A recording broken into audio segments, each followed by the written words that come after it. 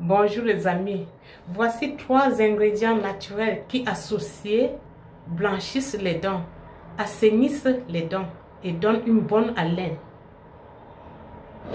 Il s'agit de quoi? Il s'agit de l'huile de noix de coco, de la bicarbonate de soude, de curcuma en poudre.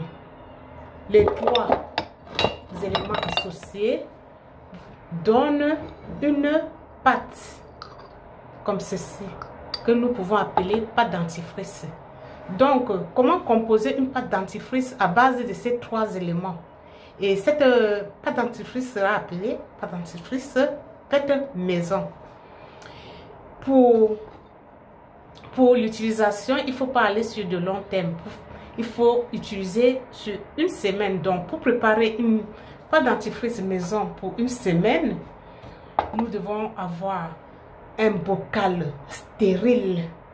Et dans le bocal, mesurer deux cuillerées à café d'huile de noix de coco, une cuillerée à café de bicarbonate de soude, une cuillerée à café de curcuma en poudre et mélanger, mélanger, mélanger, obtenir la pâte que vous voyez là.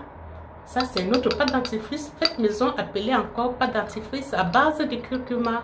Il faut le garder au frais brosser les dents autant que vous voulez sur une semaine. Et si vous voulez, après une semaine, si vous voulez euh, refaire, vous refaites une autre préparation.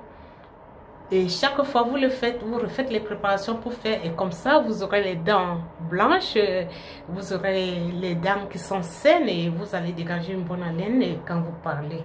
Parce que les trois éléments ont les propriétés antibactériennes, anti-plaques et donne euh, euh, euh, un bon soin pour nos dents. Merci chers amis. Essayez. Ciao.